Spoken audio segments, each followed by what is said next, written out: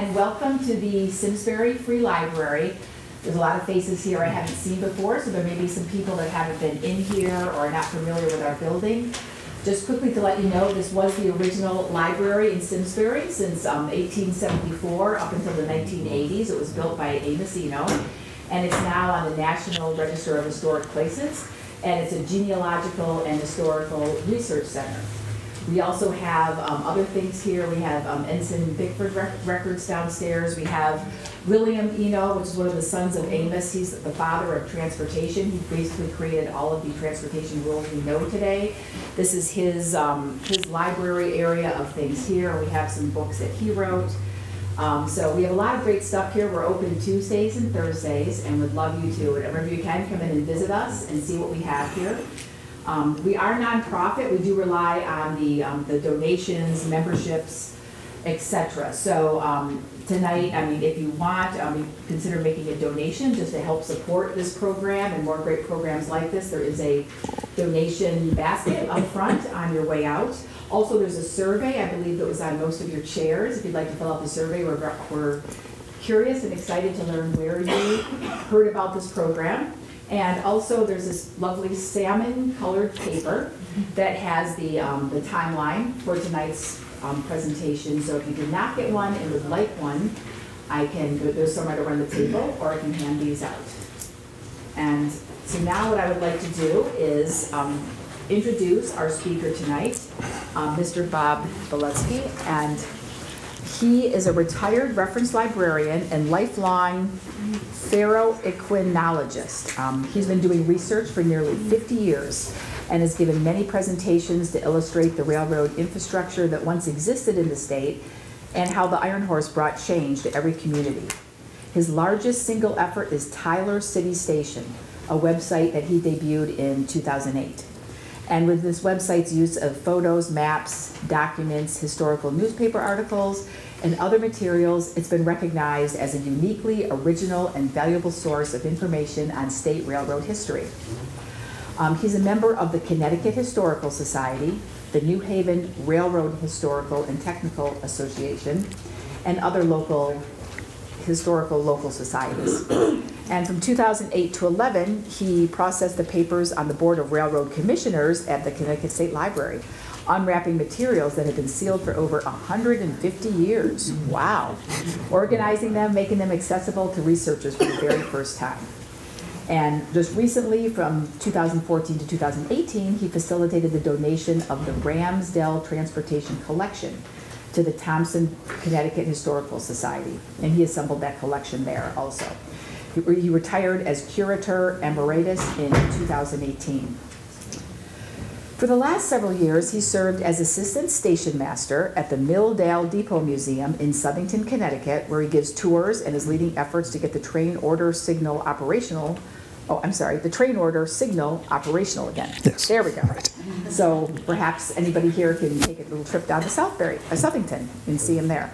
Um, also, Bob is creating a Provincetown, Massachusetts digital railroad archive to gather materials to create awareness of the railroad's century of service to the town.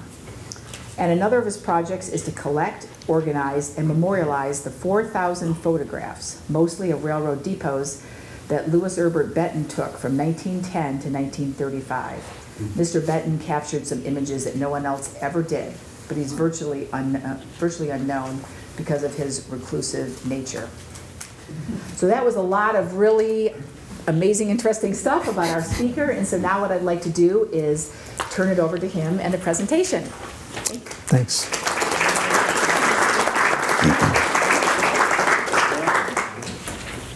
Well, the time has finally come.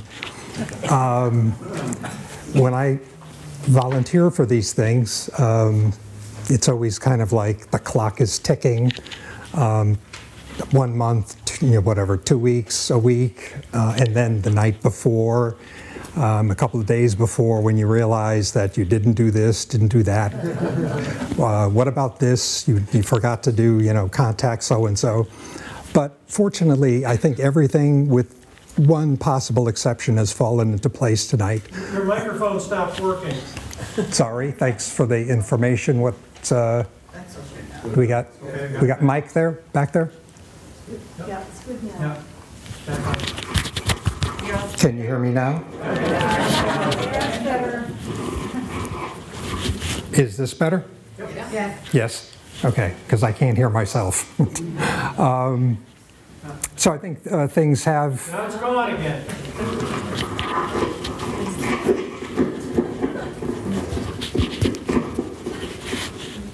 Any better here? Yes. for, for the moment. Uh, Still? Okay, okay.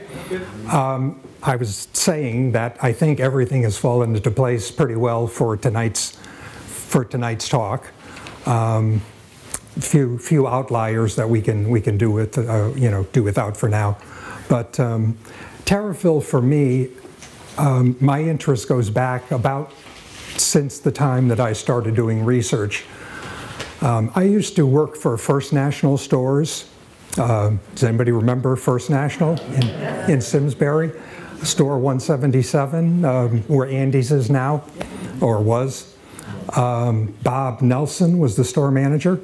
I don't know if that name rings a bell with anybody, but I, I actually I finagled myself into uh, writing a, a um, employee newspaper for all the stores in Connecticut and a few outliers in New York and Massachusetts, and used to ride around in a company car um, at age 19 um, to gather news from all the stores in Connecticut. Of course, along the way, I was looking for railroad stuff. So um, the two, the kind of the two went hand in hand. Um, that was my first encounter with uh, Tariffville coming up here uh, in probably 1970. The second encounter is when I dragged my sister, who was uh, eight years younger, um, out for a little expedition to Tariffville in the middle of the winter. there was snow on the ground, like about two feet deep, three feet deep, and we approached. I can still picture going up Main Street, um, as peculiar as that angle and rise is, um, and then going down to the end of Main Street and Main Street extended, which I don't know of any other town in the world calls their extension of Main Street, Main Street Extended, but, um, and seeing the piers for the Springfield branch in the river, which they will be there forever, of course, and um, driving down to the end of the street and then parking and starting to walk toward the Farmington River. There was two feet, of, two, three feet of snow on the ground, and I don't know what we expected to see because the ground was covered with snow, so you can't see any outlines of anything at that point. Um, the snow was crusted on the top so that when you're walking on it, you're, you fell in every other footstep or whatever, so like up to your knee. So that didn't last very long. So we head back to, uh, to Hartford in the car, you know, and got warmed up and hot cocoa and stuff. But, um, and then later to find out that the, um, the historical events that happened with the wreck of 1878 and with the Battle of Springfield, which we'll talk about, Battle for Springfield, um, in the uh, early 1900s, really makes uh, Tariffville a pretty unique place in railroad history in, um, in this state, of course, and possibly in others as well. But um, so, without further ado, um, you all have your timelines. I this time remembered to put it in the presentation, so it will be there also when this is recorded. Um, I apologize for the smallness of the type, but this, you know, Microsoft Word looked fine on screen, and when it, I type, when I printed it out, it gave me this tiny little type that you almost need a magnifying glass for. Um, hopefully, you don't, but but increasingly most of us are. Uh, so we'll get, on to with the presentation.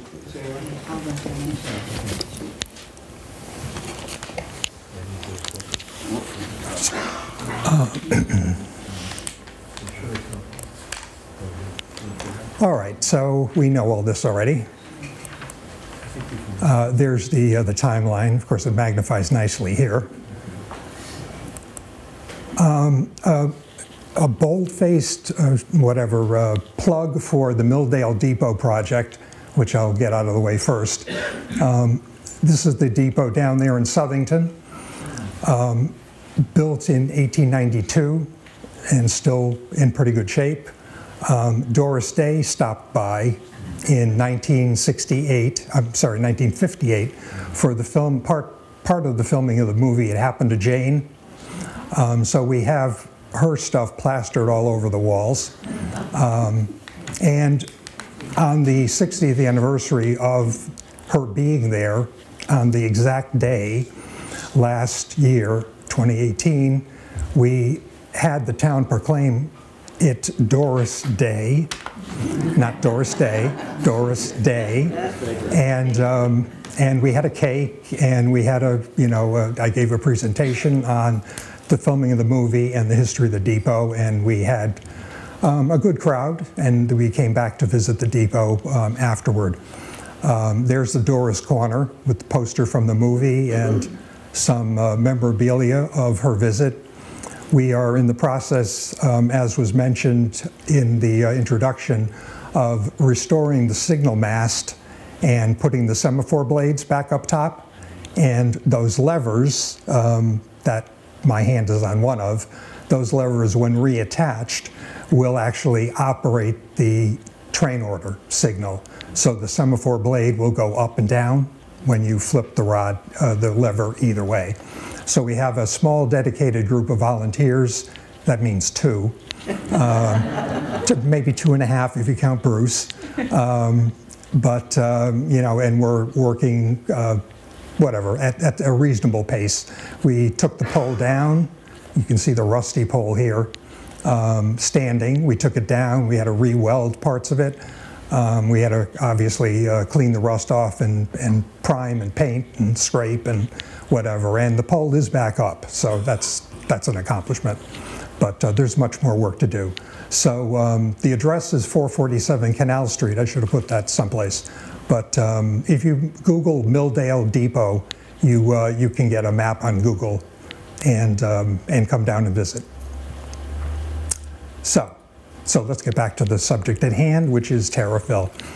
Tariffville was served by two railroads, um, as you probably know, the New Haven and Northampton, which was popularly known as the Canal Line.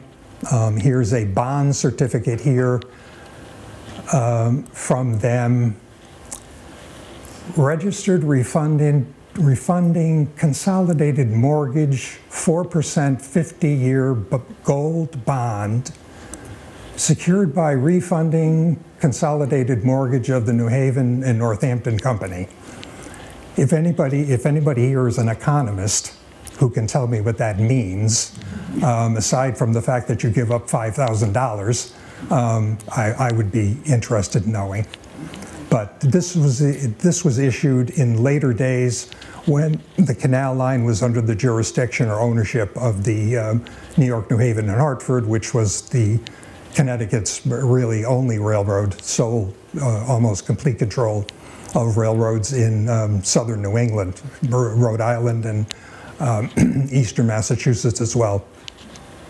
So, you know, times money was flowing, you know, whatever. They were taking in big money, they were lending big money, they were borrowing big, big money. Um, the smaller of the, the two railroads, of course, was the originally Connecticut Western, um, and reorganized in 1880, uh, that's 1871, um, and reorganized as the Hartford and Connecticut Western um, in 1881. And there was a couple of subsequent corporate transformations, which are uh, I have on the timeline, but we we uh, really won't go through here. Ultimate ultimate controlling company was the Central New England Railway um, of 1898-99. The area that we're going to be talking about is here, um, and I've tried to um, put it all here on one map. And I color coded, this is my Google Earth map, which purports or intends or hopes to capture all of this information for the state. It's uh, obviously a work in progress, like everything. But um, the 1850 trackage, the canal line going up and down uh, through Simsbury to Granby, and down to New Haven is in green, as is their branch to Tariffville. Um, and we will look more closely at that in a minute. Uh, the red is the Connecticut Western, 1871, which kind of did this loop up to Tariffville and back down to Simsbury and then over to Winsted and um, over to the New York State line. The yellow trackage up here is the Springfield extension of technically 19, uh, you know, technically 1900. Um, trains started running. There were some problems with this. So the track was in, but the trains weren't running. So let, us give it a 1900 to, uh, to round it off. The um, transportation in the Pioneer Valley, as this upper part of uh, the valley here is called, you know, really owes a lot to the canal, uh, the canal that preceded the canal line, um, and transported a really kind of an amazing amount of merchandise and an amazing variety, um, which we can see some of here. Um, mostly household goods, I guess. Um, the canal, the canal is only four feet deep, so I'm not sure how heavy a load those boats could carry. I'm sure there were ways of maximizing that, but this particular um, store down in Avon was getting this kind of merchandise from the from the canals, um, and that, that was the case. You know, Plainville wouldn't be what it is today. Southington, um, Avon, uh, without, you know, without the transportation that the uh, canal furnished.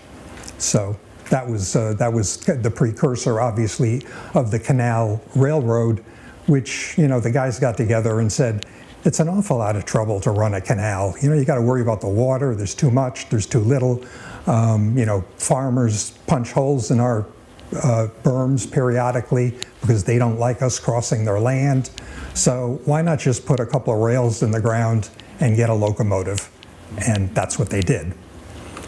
Um, Tariffville actually got its big break when the cornerstone of the Tariffville Tariff woolen factory was laid.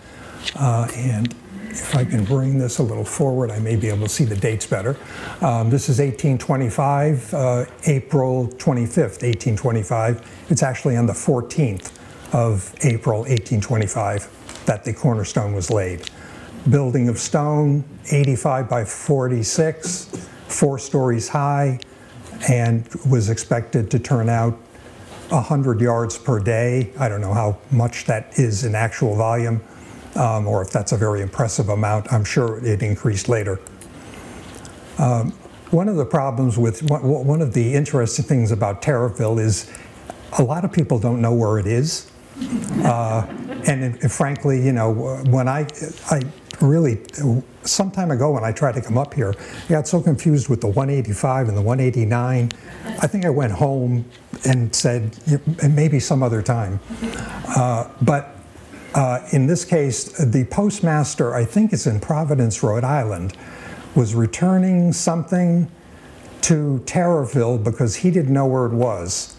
Uh, so returned a paper directed to the post office in Tariffville saying, he does not know where the village is. So, and the, the article goes uh, into, you know, saying, well, we got a big carpet manufacturing here and blah, blah, blah. Um, you know, 11 miles north, northwest of uh, Hartford on the Farmington River. We have a post office, and like, what's your problem? but um, anyhow, I, I, think, you know, uh, where, where Tariffville is in kind of an isolated little corner, I think um, it kind of adds to its charm in a way. But uh, I, I go for these kind of out of the way places. Anyhow, carpet manufacturing um, amount of, uh, in 10 short years, this is 18, seven years, $123,000 worth of capital. Um, their manufacture, they have, note this figure of employees, 367 workers, um, 95 of which are male weavers. Um, putting out 140,000 yards of Ingrain or Kidderminster carpet annually.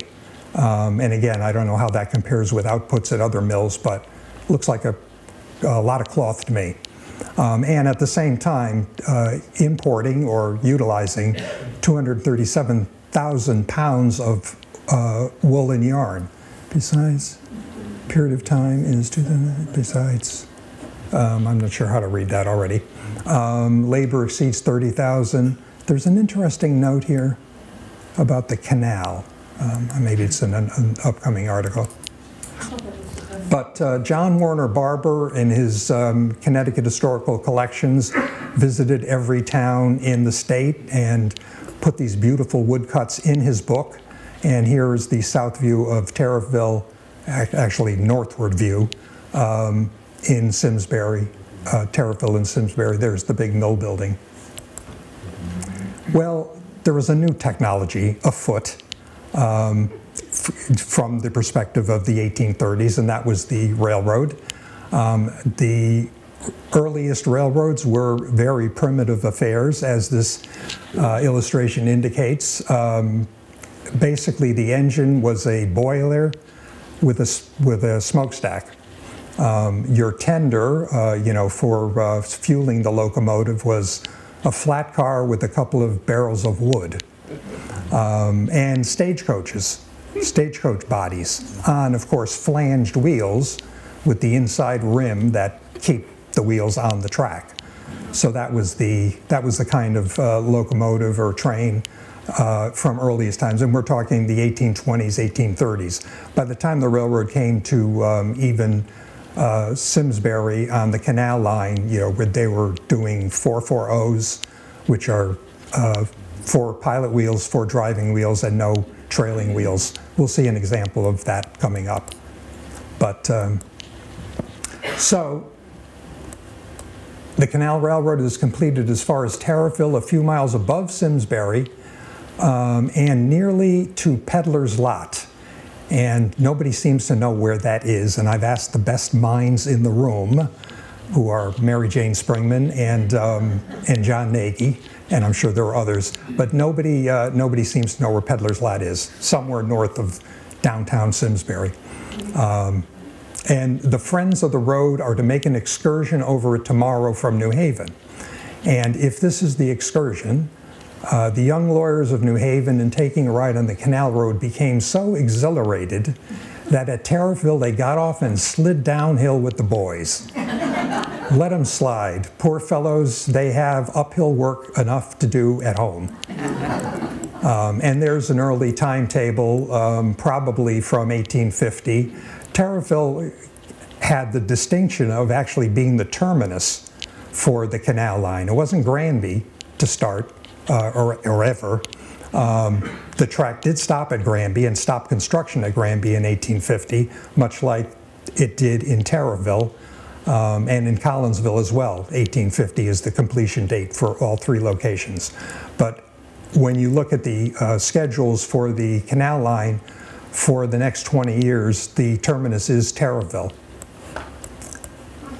So the 1855 Woodford um, Atlas map of Hartford County, which is a beautiful piece of work, shows the trackage here um, and the spur into Tariffville Depot at the end of the line, north side of the track, and a triangular intersection of track, uh, which is called a Y, W-Y-E in railroad terminology. Um, I've tried to replicate that as best as we can figure out on the Google Earth map, um, and it looks like about this, this being Wolcott Road, and this being Wolcott Road, and this little green building. And if you look over here where the red arrow is, you can see a curved, kind of a curved line in the wood, or in the edge of the forest or tree line, um, swinging this way toward the green building.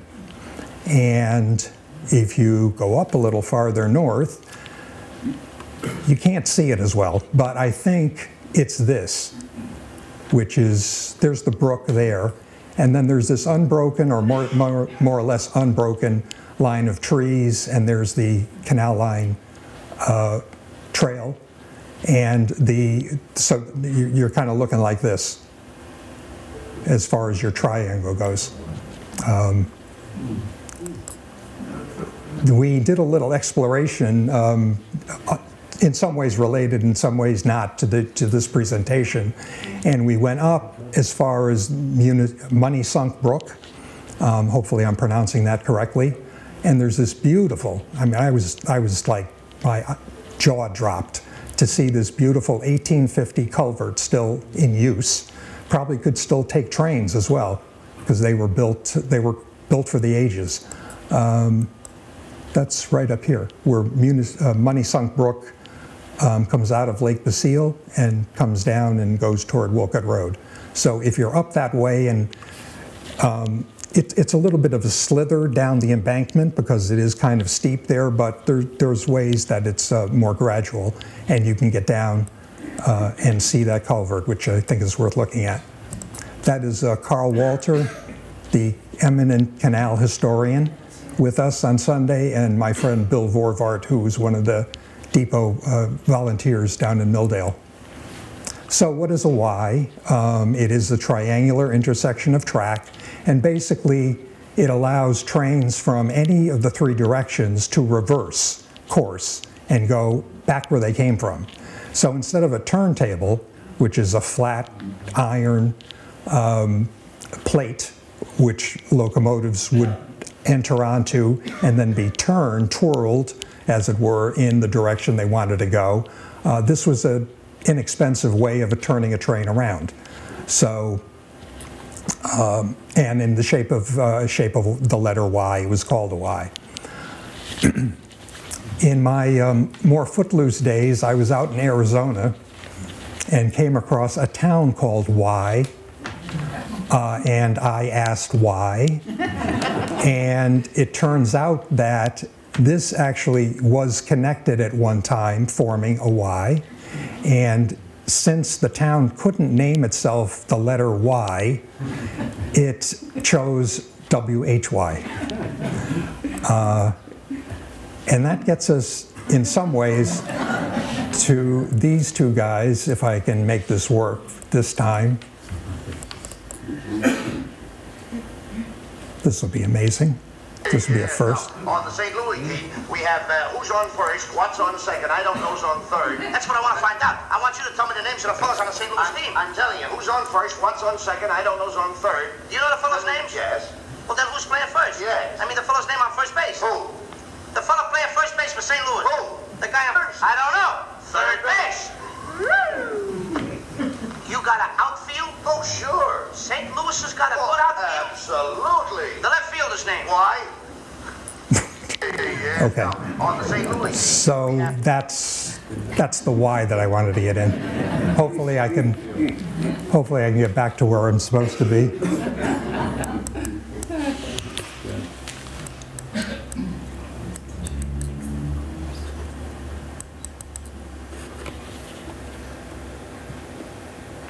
Okay.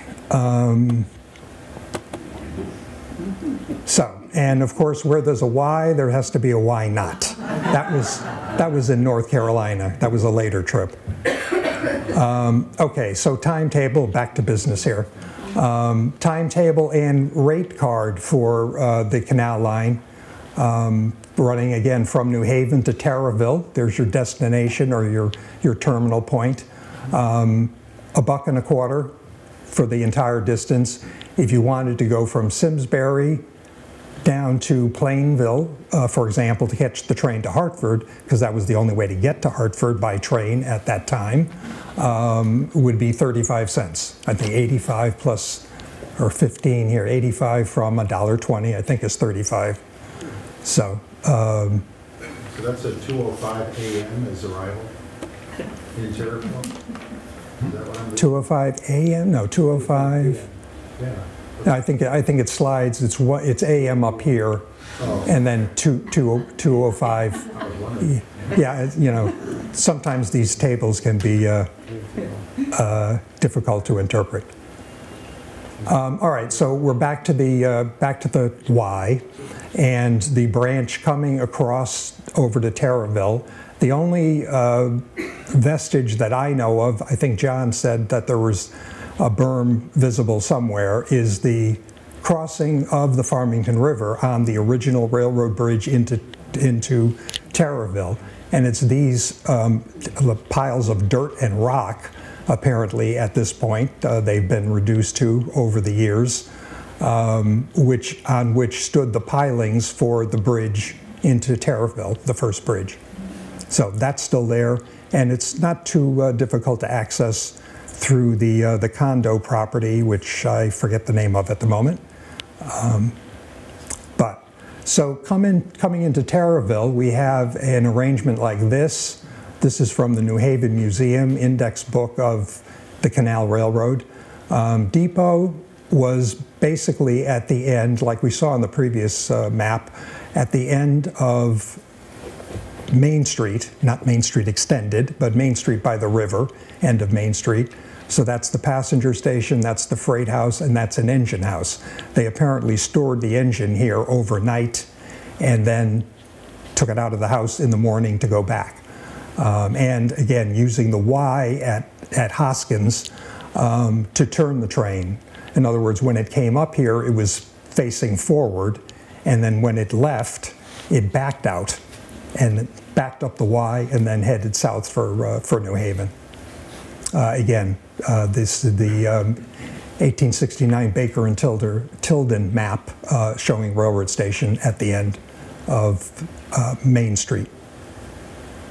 That's, that is possibly, this is the station in Simsbury that used to be a um, architect's office. Um, it's down there on Iron Horse Boulevard, um, beautifully kept, uh, and hopefully still is. Uh, this picture was taken a couple of years ago. But um, this possibly was what the station in Tariffville looked like. Uh, the footprint actually is seems to match. Um, so that's a bit speculative, but if if it were there, uh, this is 5 Main Street extended. This is where it would be and where it would look like today. My friend Al Weaver has uh, this knack or talent for superimposing pictures one on the other. I don't know how to do this yet.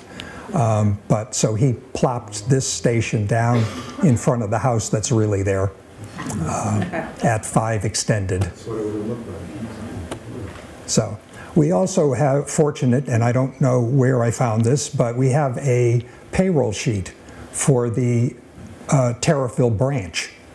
Um, we have an agent here, um, and I'm not sure that I have deciphered any of these names. E.B. Phelps? No, that could be Phelps. E.G. I don't know what, what that is. Um, Earl Gorman, helper. Um, Albert Conway, engineer, engineer, brakeman, brakeman. Um, I don't know that we can fiddle too much with the names. So hash marks for each of the days they worked. Uh, looks like the pay for uh, the the lesser individuals was twenty-seven dollars, so like a dollar a day.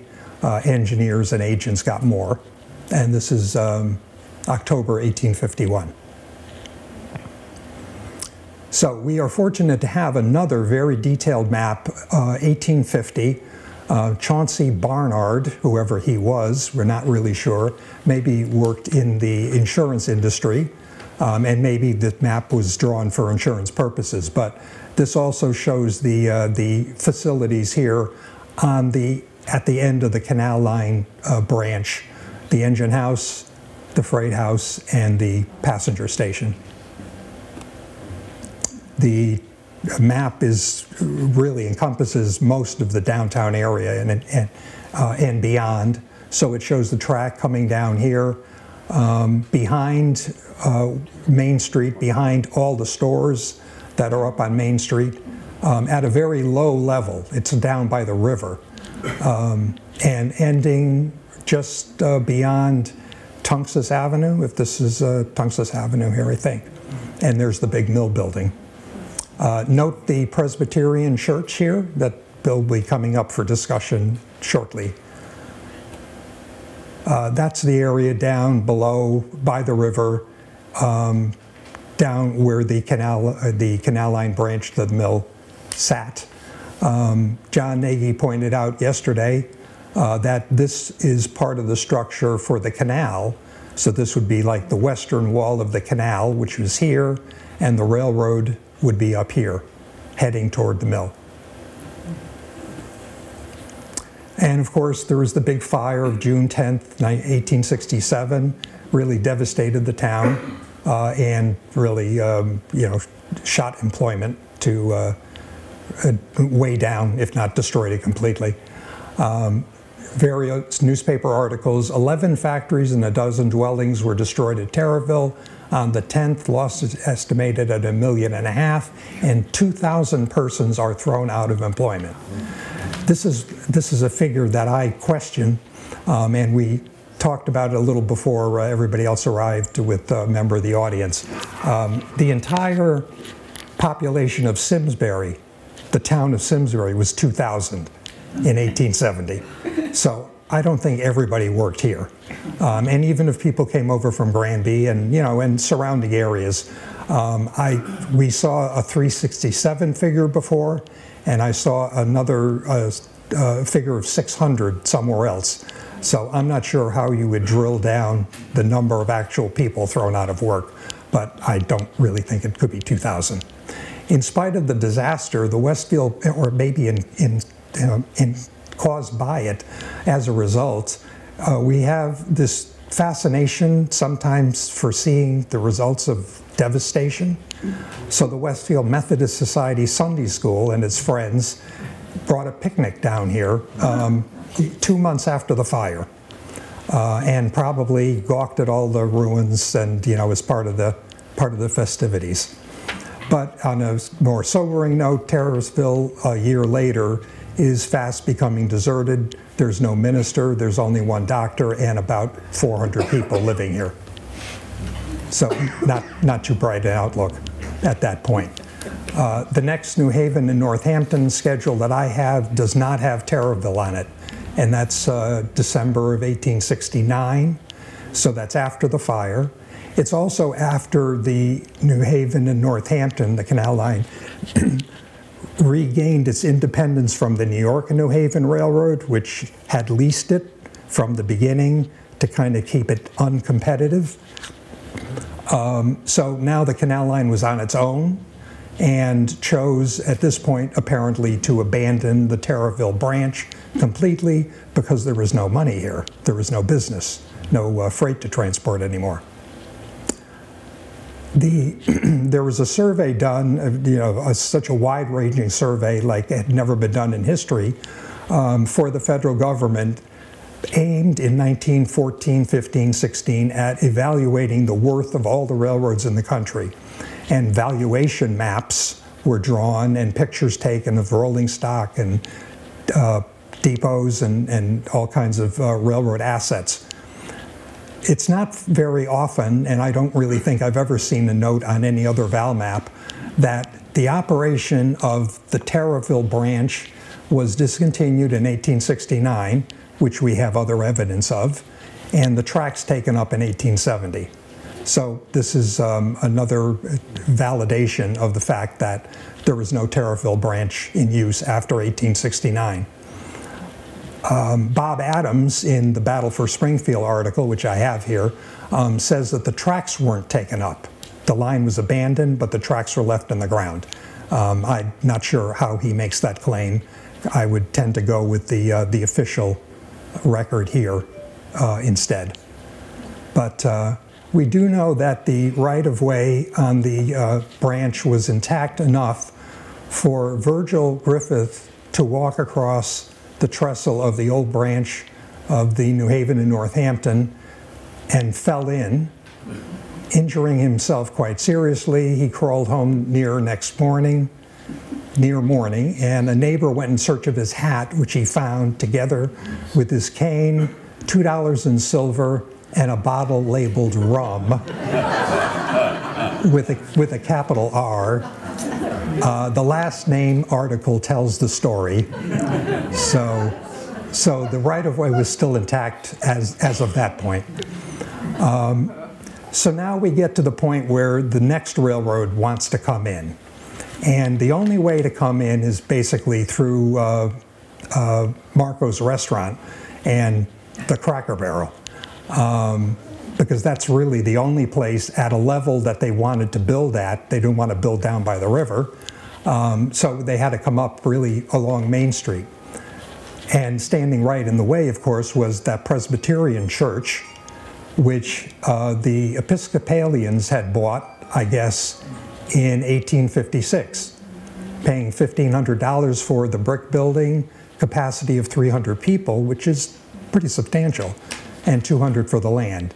In 1870, the railroad, after it obtained judgment of condemnation, bought the church property for 11.5, a, a hefty, um, hefty little profit, um, and moved elsewhere.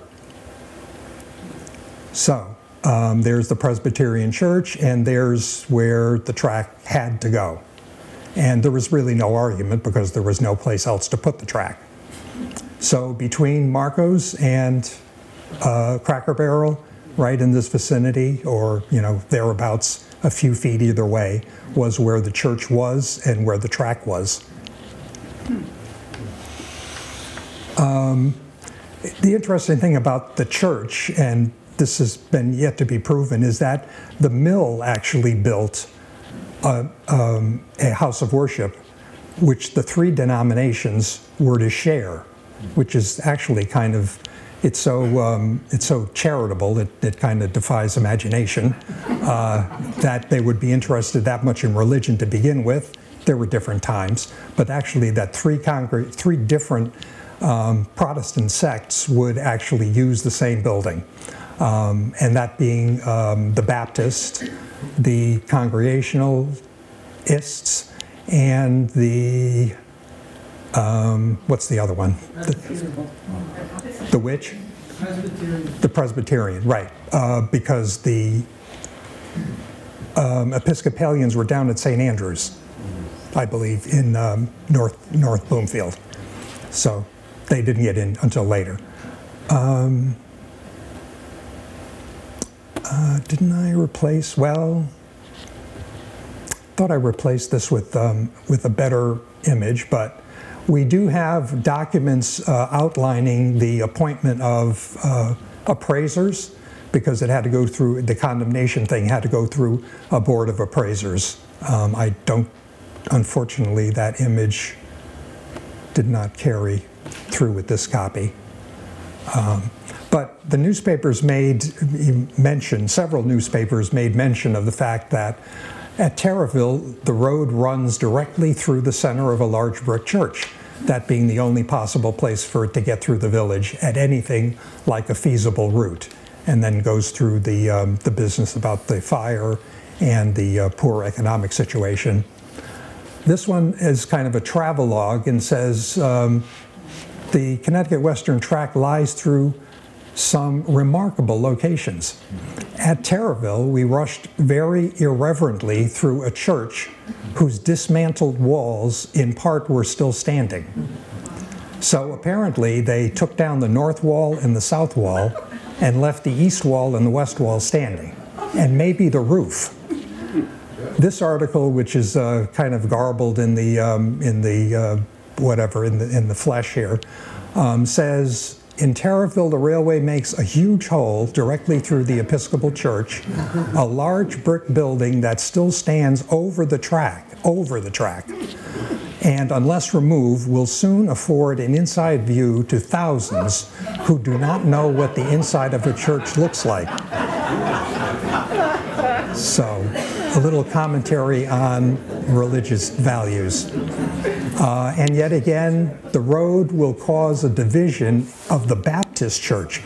Since it was shared by the three uh, sects, um, apparently, or denominations, apparently there was some confusion as to what it was at that time. In some of the papers, it's called the Baptist Church. Um, the line passing directly through the building, which will be used as a depot which is kind of astounding because I don't think I had ever seen I, there, a depot was never built there, but the idea that there was going to be one actually was pretty popular in town, but it just never happened. But uh, the idea that in 1871, when the railroad was coming in, um, that was already remarked about, uh, was uh, is kind of surprising. What did happen, and we will soon learn, is that the Connecticut Western used the old Canal Line depot at the end of Main Street for 20 years uh, until it burned in 1892, which we'll see. Um, all right, so the railroad's back in town and the prosperity is just around the corner. Um, The Connecticut Screw Company, incorporated by the present legislature, has purchased the Carpet Company uh, property and uh, will be turning the wheels and making lively times at Tariff um, in short order. Uh, Opening day schedule, um, the railroad opened on December 21st, or- or actually, I thought it was the 22nd, but um, and then we come to this article, which I couldn't resist um, Adams New Grove and Picnic Grounds. Nobody knew where this was either until John and I talked about it yesterday. Um, newly fitted up with large, spacious platform tables, swings, boats on the river, um, on the banks of the Farmington River near the depot of the Connecticut Western, which of course is at the foot of Main Street. Remember Abel Adams, who sold the property to the canal line for the depot? Well, apparently he owned this piece of property also because he's advertising his grove, which probably is your Tariffville Park um, in later incarnation, and maybe that's where it got its start. Um, and of course, the depot would be here at the end of Main Street.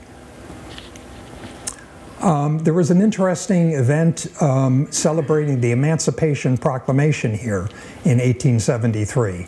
Um, 700 people came to talk about the plight of the black man, the black uh, race in the country, and um, several speakers, excursion trains, uh, you know, coming from Hartford, and um, aside from the beauty of the grove, which may have been Adams Grove, um, we wonder if somehow the, the, the atmosphere here invites, I wouldn't say dissent, but free discussion of, um, you know, of political events and developments and social um, developments as well. So it's kind of a landmark event. Um, I I'm sure there were others around the state, but this group from Hartford chose Tariffville. Um, political ramifications of railroads you you um, wash my hand, I'll, I'll wash yours, or scratch my back, or whatever. People wanted the extension to Springfield even as the Connecticut Western was being built. Um, in fact, there was fear on the part of the other railroads that that's what the intention of the branch was to go to Springfield, and that's why they got all like anti-competitive and tried to stifle the uh, the canal line. But in fact, as this indicates, northwestern Connecticut is, it is whispered, may set the Tariffville branch against the one capital question. And it will be gondola for gondola, as they used to say in Venice. So, like, you know, you give me something, I give you something. Um, and the, of course, the two capital, the one capital question was the fact that at that time Connecticut had two capitals rotating between New Haven and Hartford. Um, and in 1875, that was a settled matter, and Hartford got the nod, and, and New Haven didn't, apparently. But this is an allusion to, you know, if you don't give me what I want up in northwestern Connecticut, I may vote. And then there was complaining about Hartford because Hartford was against the Springfield extension for fear of losing business to, uh, to Springfield, you know, which may or may not have been true, but that was, the, that was their feeling. Uh, 1878, we're just going to, you know, fly over the uh, the, the bridge collapse. Um, you probably know that story better than than I can tell it, but um, you know, a tragedy. Uh, but that has been, I think, pretty well written about. Um, and you know, just was a black eye for the uh, Connecticut Western for for some time. But bridge was rebuilt and business went on. Uh, the vestige of the, um, the eastern abutment for the bridge is still there behind the condos. I'm still not sure what those condos are named. Governor's Bridge. Governor's Bridge condos? Um, right adjacent to the schoolyard and down around? Okay, uh, thank you. Um, and that's Bill Vorvart standing, you know, looking, looking out toward the, uh, toward the west, like uh, Lewis and Clark. Um, and this is the view across the water. The ideal view would be from a canoe. And I don't know if anybody here has ever ventured to do that, but um, I may have to do that at some point so you could look back at the abutment and get a real picture of it. Um, again, the idea appears in print, at least, to build a station and freight depot directly opposite the post office at Tariffville. Where was the post office? In the Cracker Barrel uh, building uh, at the time. So we're still talking about that same location. It's kind of like, it's like haunted, um, or it's haunting the people of Tariffville. So the women of Tariffville decide at some point in 1892, April of 1892, that that old station, which is now uh, 1892, it's 40 years old, um, needs some work. It needs to be renovated, painted, papered, for to, to eliminate the eyesore to what strangers visit the village. And they're sick and tired of waiting for the railroad to do something about it. So they're going to do it themselves. Before they could get their paint pots organized, or actually they were in the station, it burned. On May 4th, um, uh, May 4th, let's see, May 4th, May 5th, article May 5th, the day before, last night. So um, the, probably the night of the 4th, or maybe the morning of the 5th. But uh, anyhow, the, uh, the tramps inside, at, caught inside at the time, gave their names as John Doe, Richard Rowe, and John Francis. Turns out that their real names were Frank Daly, Frank Leonard, and John Sullivan. They couldn't be charged with setting the fire because there was no proof, but they were charged with trespassing and paid small fines. Um, and here again is another call for, for God's sakes, why don't you build a new depot downtown by the post office where there's plenty of room and it's the best site in the village for this purpose. Never happened. We have some commentary on the building that burned. Uh, it belonged to the Consolidated Road, which had again uh, leased the canal line in 1887. And it was erected when that company's branch track extended across the meadow. The CNEW, another incarnation, um, road have used it for 20 years. So we, here we have 1892 going back to uh, 1871, essentially. So that's what the Connecticut Western used as their depot, the old Canal Line depot, for 20 years. Um, but now we'll build a new depot on the opposite side of the track, nearer the center of the village. We'll see about that. The loss was hardly uh, will hardly exceed $200. Now this is one of my favorite all-time quotes about the condition of railroad stations. The Tariffville Railroad Station burned the other night. It was the meanest, shabbiest, dirtiest, and most disgraceful hog pen on the road between Hartford and Poughkeepsie, through courtesy known as an alleged railroad station. Excepting, of course, that ancient old ark on the flat in Winsted. This is the Winsted Herald. It has to be. Uh, but this was a clipping I grabbed from some uh, printed page. Um, and there was a railroad station there, obviously, that they reviled as well. Um, that, that's, that's, that's classic. When I, do, when I do the talk on the good, the bad, and the ugly railroad stations in Connecticut, that will be uh, one, of the, one of the leads. Um, so later in 1892, um, new railroad station is being built across the track from the site of the old structure that burned. Um, it will be small, but a decided improvement over that old building. Uh, new railroad station almost complete later in 1892, enough so that the station master can do his work there. Where was the second station? More or less opposite where the first one was, like the newspaper said. So that's the 1893 Hurd Atlas of Connecticut. Um, of course, the desired location was down here, but this may be a few feet closer to the center of town, but not much. Uh, so basically, it was still up where everybody didn't want it to be. If that station were built, it might have looked like this. This is pure speculation. This is um, South Middleborough, Massachusetts. I just pulled this out of my hat this morning, and Al Weaver imposed, superimposed it on what's that address up there? Um, 5 Main Street Extended. So it's the first house on the left as you go around the bend. Um, That's possibly what the station looked like, small, serviceable, um, but nothing, nothing elaborate. Uh, There's a couple of views, again, coming around the bend, uh, Main Street, bridge, former bridge to East Granby, um, track coming around the bend toward, um, toward the condos at the end of uh, Main Street Extended. Um, And then, oh, dear, we don't want that. Um, uh, And then another, another view of basically the same, uh, the same scene. Carl Stieg was an avid collector of uh, C&E stuff. He passed away a couple of years ago before writing the book on the extension, the Springfield extension that he had uh, planned to write. The telephone came to um, the railroad station in 1895 um, for a small fee.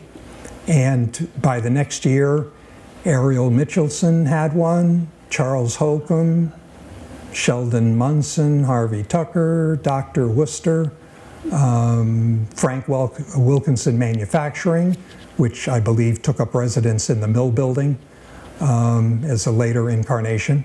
So the phone coming in to town. All right, so now the Springfield extension has been on everybody's mind since 1871. And now the Central New England or the Hartford and Connecticut Western is trying to make it a reality. So they petition the railroad commissioners to give them permission to cross the canal line at the end of uh, Main Street. Because you can see from the map that in order to in order to get to Springfield, you have to cross this abandoned, possibly trackless right of way to get your connections in. So, in other words, the red line is this, the Connecticut Western. They need to build this leg of a Y. Here's another Y for you. Um, and this leg here to connect their track to go to Springfield. And that has to cross the green line, and that's the uh, New York, New Haven, and Hartford's kind of ace in the hole. You can't cross our track without permission. Um, so the Battle of Springfield commences. Um, and of course, the railroad president, the um, CNE president, ultimately says, "What do we what do we care about an injunction? What you know what, what big deal is that?" Well, apparently it was still a big enough deal where they built the Y, possibly in the dead of night. Um, there there was a lot of this going on. Something would be built overnight, and then when the sheriff showed up in the morning, it had to be ripped up. This happened in East Granby as well. Um, the, uh, obviously, the New Haven Railroad was very much against the extension and pulled out all the stops to, uh, to try to uh, forestall it happening. The attitude of that railroad, as expressed by its counsel, Lynn Harrison, was that it was taking the land of another corporation that the Consolidated owned from the center of the earth to the constellations above its land. And nobody could trespass. Uh, you know, even up in the sky, air rights, mineral rights, nothing. Um, so the Battle of Springfield, which we've alluded to, I have this article here if anybody wants to make a copy. It's not footnoted, but it's very authoritative. I, I think Bob Adams did his homework. Um, the situation here, he goes all the way up to um, East Granby. There's the Montague Farm. That was the next ploy, the second battle, um, where the New York, New Haven, and Hartford surreptitiously bought the farm so the CNE couldn't put the track on it. And this resulted in a $100,000 detour so that the extension could be built to Springfield. Shortly thereafter, the farm was for sale for $150. Uh, this, this is the kind of shenanigan that the New Haven was not above playing. But um, so a couple of pictures to describe the situation at, um, at East Granby. There's the locomotive on, stalled on one end of the 313 feet. There's a hand car on the other, and there's a shoe fly probably built in the dead of night and removed shortly thereafter to get materials from one side to the other. So, and a train, I think I've read that actually a, a locomotive somehow managed to get between the two points. So the train actually did run. Uh, here's the legislature going up to study the situation because this was a big deal. This was in the newspapers for like three years. There was an article every day about the progress or the, you know, the the uh, shenanigans going on. Um, this is probably the most expressive. There's um, a construction worker, or I don't know, some kind of official, or just a laborer with a white glove or handkerchief, like waving down the locomotive, like you can't you can't come through the barbed wire fence. Uh, so, if anything symbolic of the uh, the uh, Battle of Montague Farm, that photograph probably is it. Um, the Y connecting the branch, they, the railroad commissioners did give permission to the Central New England to construct the Y at Tariffville because there was no good reason not to.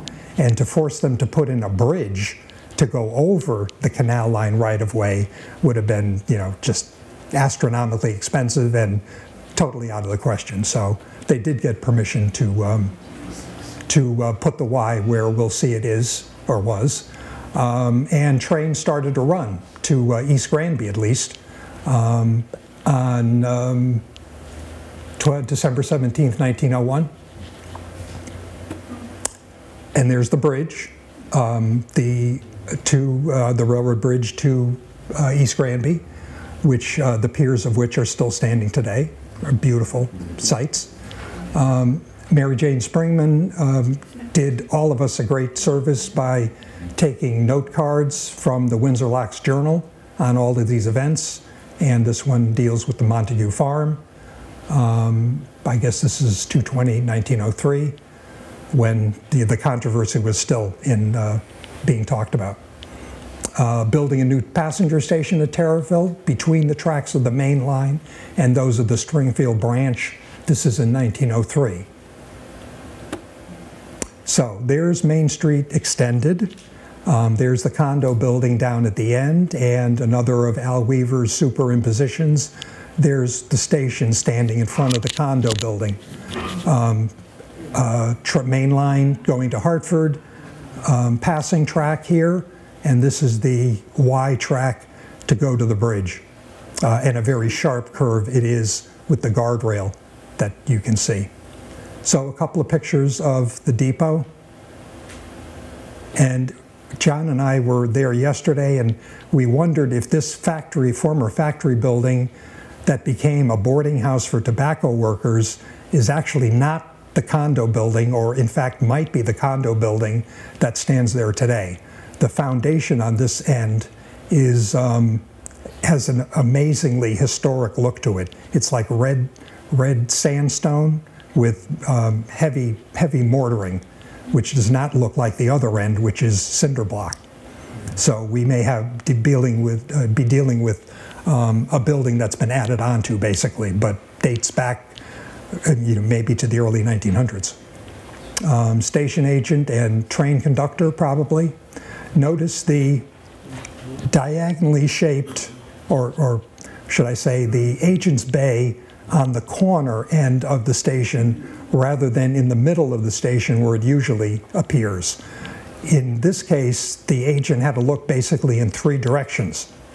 Trains coming from Hartford, trains coming, uh, trains coming from Simsbury, trains coming from Hartford this way, and trains coming from Springfield that way.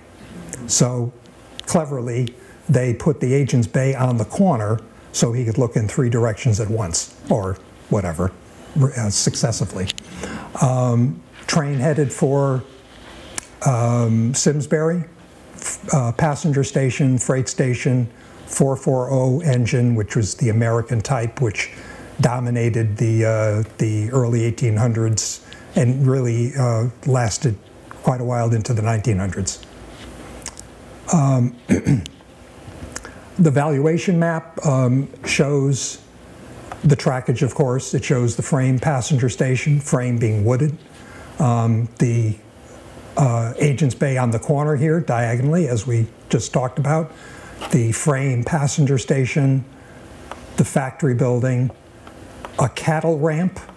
Uh, every every uh, station in a rural area, uh, maybe maybe not had a cattle ramp, but uh, many did. Uh, coal pocket, car house. So there were several structures here, on, you know, as part of the railroad facilities. This copy of the valuation map has an interesting parcel of land here with a track running through it. Any any guesses as to what that is? Uh, the old the old church, the old uh, Episcopal church. Um, a couple of views of Tariffville Station, 1929, 1930s, 1933. That may be Bill Moneypenny looking. He was an avid photographer. Um, and you can see the tight curve of the of the Y track going toward the bridge. That access road to Tariffville Park does not look like it has been altered in any way, shape, or form. So that actually was the right of way to get to the bridge. So you put that together with the trackage that you see in front of it, put the station a little bit farther back, um, but still in front of the condo building, um, and you have you know the layout as it existed then. The 1934 aerial shows the passenger station, the freight house, this building in between. I don't know what this is. Additional warehouse space, maybe for tobacco, um, and then the factory building. The bridge to East Granby obviously was still there.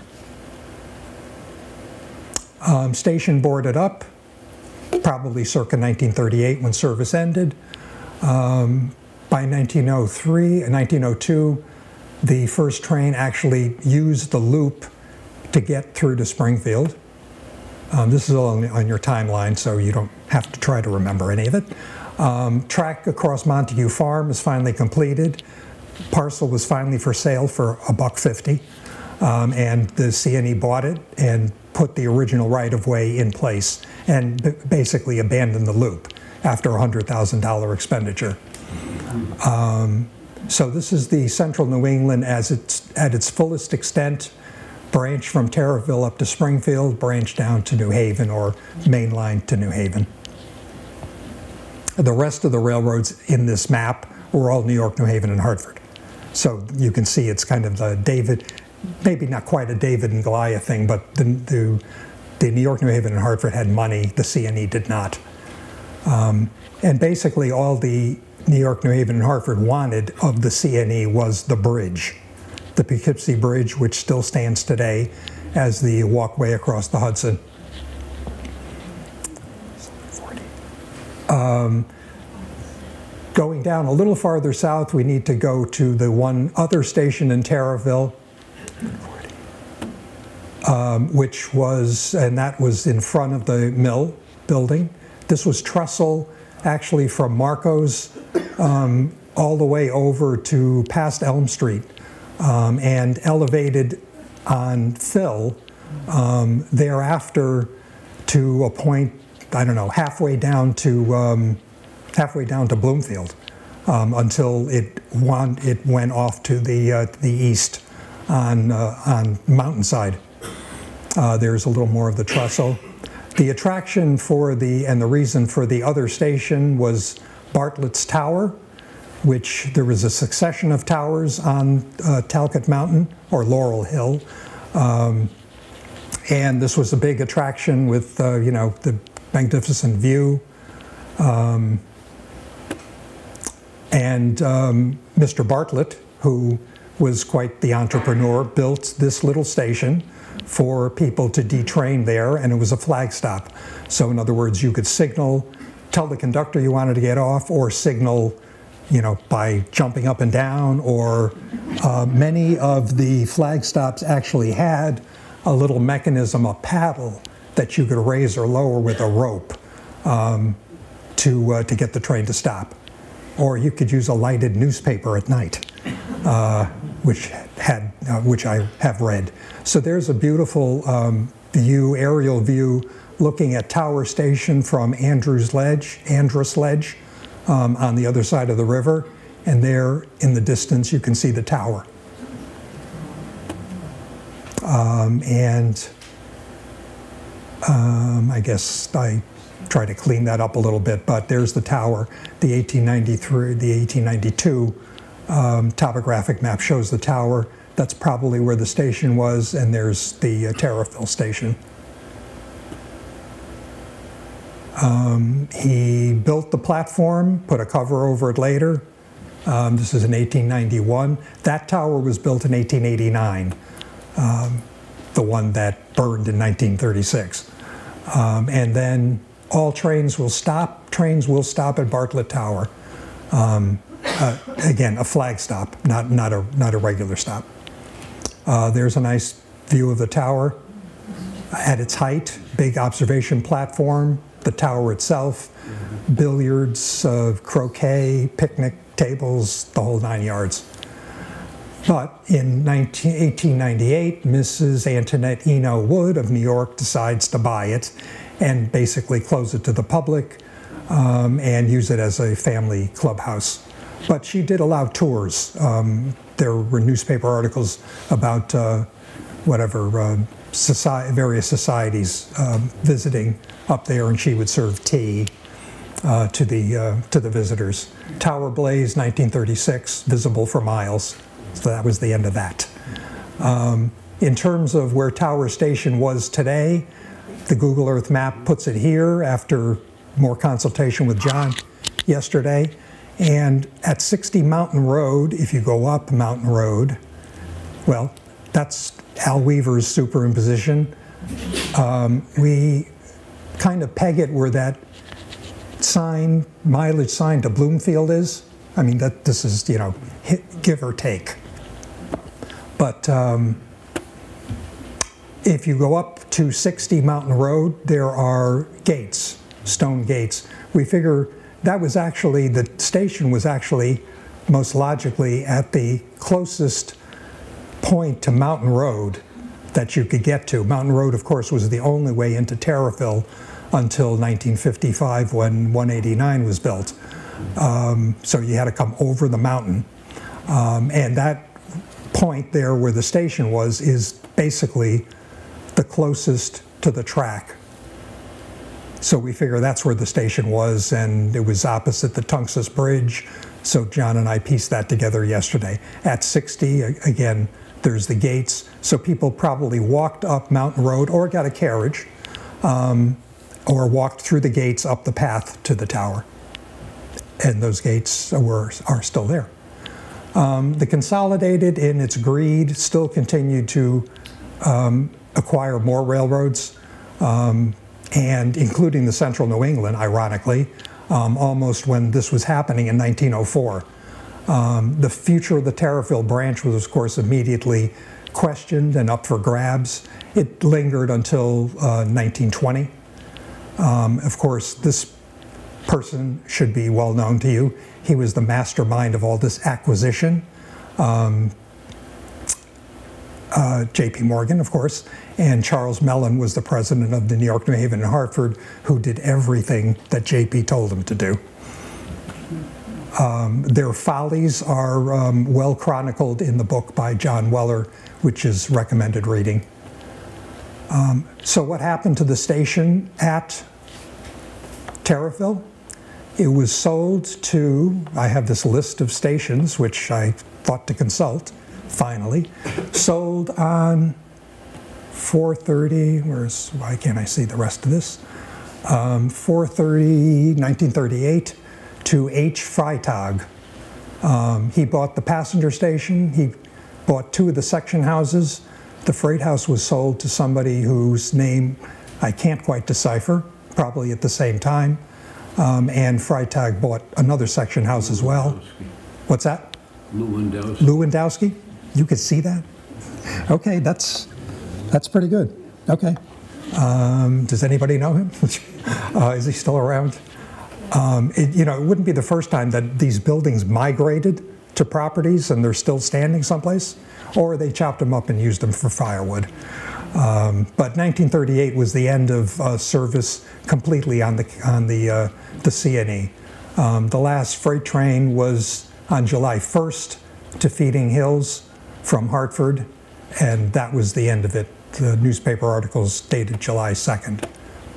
Uh, Connecticut Western closes a chapter, this was in the current, on January of of 1939 when the C&E was history. Um, We don't know exactly where the stop was, but, the stop sign was, but um, might have been down at Griffin's where the track was cut and still operates as the um, present-day Central New England Railroad today.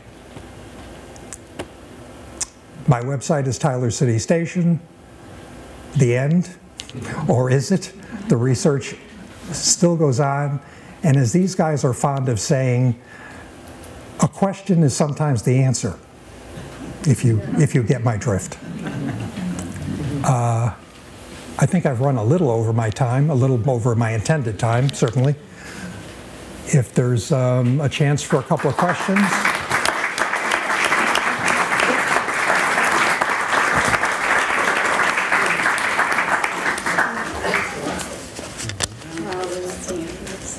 Thank you.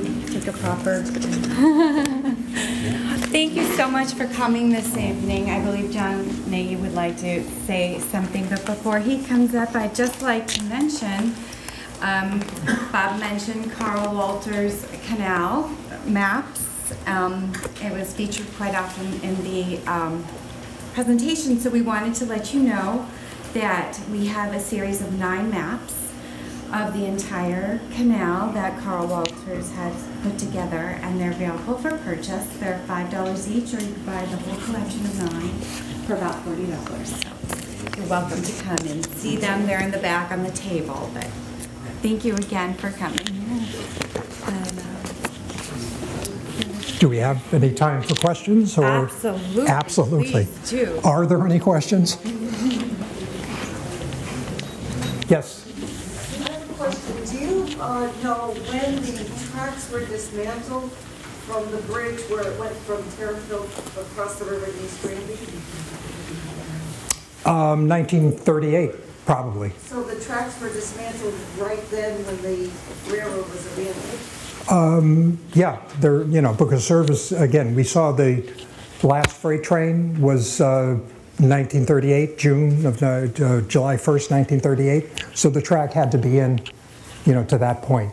When the bridge, when they they probably took the bridge down at the same time that they were, you know, taking the rails up, which would be nice to get a newspaper article, you know, chronicling that to add to the, to the chronology you know, a- actual, you know, they're out there doing it today kind of thing. Anything else?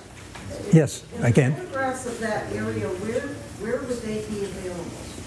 I'm sorry, which, The photographs of uh, where the bridge was, where this, where this uh, station was at the end of uh, Main Street Extension? Do you have The photograph? Yeah. Where, where are those photographs available? Are they? um, I, they're available from me. Uh, I, I've, I've collected them from various sources over the years. Um, Simsbury Historical may have some. Online?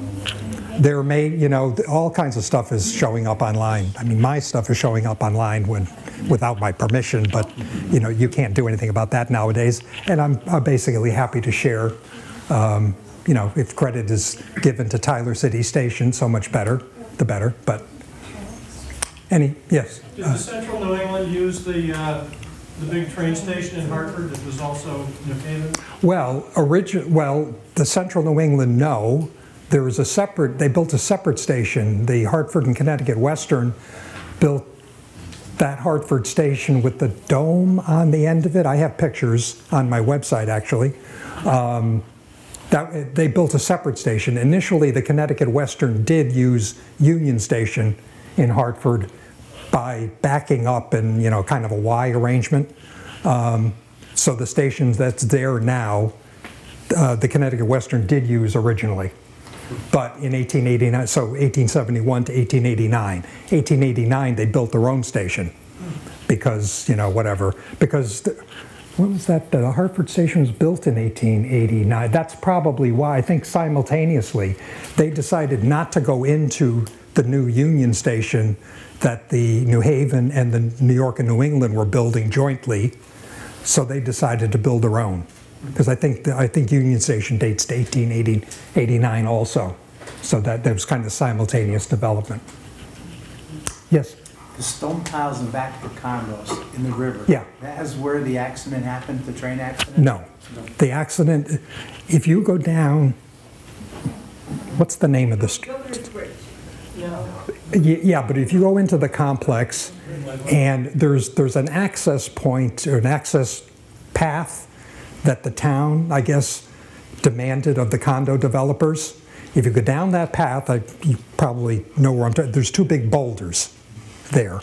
So if you go down to the river there, if you turn right and walk maybe, I don't know, a couple hundred feet, you come to the three stone pilings. That's the 1850 branch to Tariffville. If you go in the other direction, when you get to the river, maybe two or three times the distance from the other one, uh, you come to the abutment that Bill was standing on. And that's where the bridge collapse took place. So frequent confusion. And the other confusion is that I've seen it mentioned here and there that when the Connecticut Western built, they used the 1850 alignment of the canal line to get to Simsbury. Totally false, as I think I've showed pretty clearly on the map. Entirely different right of way. The Connecticut Western, you know, sloped down like on a 45 degree angle um, instead of using the canal branch, which would have been kind of nonsensical to go above Simsbury and go down. So again, another confusion that, um, that I've come across that unfortunately with the internet, um, some, sometimes it's better to do this. Uh, uh, unfortunately with the internet, uh, you know, you, you can't stop this stuff out. Once somebody puts something online, you know, who's going to correct it and who, you know, where's, where's the true material, where's the true answer or the true facts? It, it's a real problem, you know, maybe not so much for railroad history, but um, other more serious matters as well. Anybody else? Yes, ma'am. I was interested in, um, I remember the tracks in front of the Simsbury Railroad Station. What, was that affiliated with Tariffville at all? Well, the, the, the two tracks, you know, I, I gave a talk here a couple of years ago on, on Simsbury proper and just, you know, tried to cover all the stations. Um, the tracks there, I believe, were taken out in the 80s. I would have to double check. I do have the Simsbury timeline on, on the computer. Um, but tracks, tracks, you know, lasted there a lot longer. Um, you know, the canal line lasted in, into the late 80s, at least this far up, and then successively, you know, cut back down to Avon and then to Plainville, um, and then Cheshire and Southington and, and uh, down there. So uh, very easily you could remember tracks, tracks right there. Anybody else? Yes. Just to perhaps clarify, when we're talking about the condo building, I'm thinking when you say where the Tariffville station was and the factory building behind, I think you're referring to the three-story, one-building condo that is known as Hayes Landing. And we're not talking about Governor's Bridge, which part of the Governor's Bridge abuts that range, so. Yeah, two, two separate locations. Yeah, the, the end of, um, the end of Main Street Extended versus, um, versus um, how you get to, I can picture how you get there, uh, the relationship, it- that's farther west, basically. The, the Governor's Bridge condos are, I think one of your maps even showed Whitewater Turn, which is the, one of the main. that, right, that's the way you get in. But that's, um, where the station was, I think, is at the end of Main Street was where the Hayes Landing, one building. Yes, right. That's two different condo Right. things, yep. Anybody else? Yes. Uh, I just wanted to relay a story that I heard from my mom. Um, She passed away about seven years ago, and she would have been 96. No. Uh, But when she was a young girl, she lived in Simsbury, and um, she told me that she didn't remember trains running after 1938 across the bridge and up, but um, she assumed that was because of the flood. The 38, um, Um, um, I, there, there was I I the, didn't know that the history, I didn't realize that it was, um, that things were changing then and they- abandoned that branch anyway. And uh, yeah, I, I don't, I don't think the flood had it was any, only 11 or 12 at the time. Yeah. so. I, I, I don't think there's any connection. The, you know, the railroad was, uh, was, was finished. Uh, the New Haven, were actually, well, the New Haven went into bankruptcy for the first time in 1935. So, uh, you know, they were looking to uh, cash in on real estate assets um, and, and discontinue service wherever, wherever they could. The hurricane of 38, of course, caused a lot of damage elsewhere down in the shoreline, uh, more so, where, you know, miles of track were washed out. Um, But, uh, you know, I, I'm not sure, the- did the hurricane of 38 do as much damage up here as it did on the shore? I don't even know. 55 did, but uh, 38 did also? Yeah. But uh, two, two I, I disconnected events, as far as I know. Anything else? I do have business cards up here, if you care to take one. John and Nagy, real quickly. Yes, uh, I'm John Nagy from the Tariffville Village Association, and this is my friend Sherry Landerman. And the village, the Tariffville Village Association has uh, uh, had these blankets made uh, for fans of Tariffville, a lot of Tariffville images here. And the one uh, down on the bottom there is actually the uh, Fairfield Rest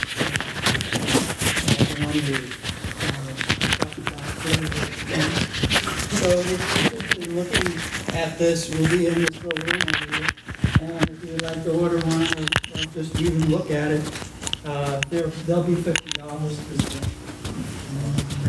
Thank you, Bob, for, uh, all the, all the walking, all the we, we have done and all the fun railroad stuff. Yeah, thank you, John, for, uh, for all your help. Funding for Simsbury Community Television is provided in part by contributions from viewers like you. Thank you.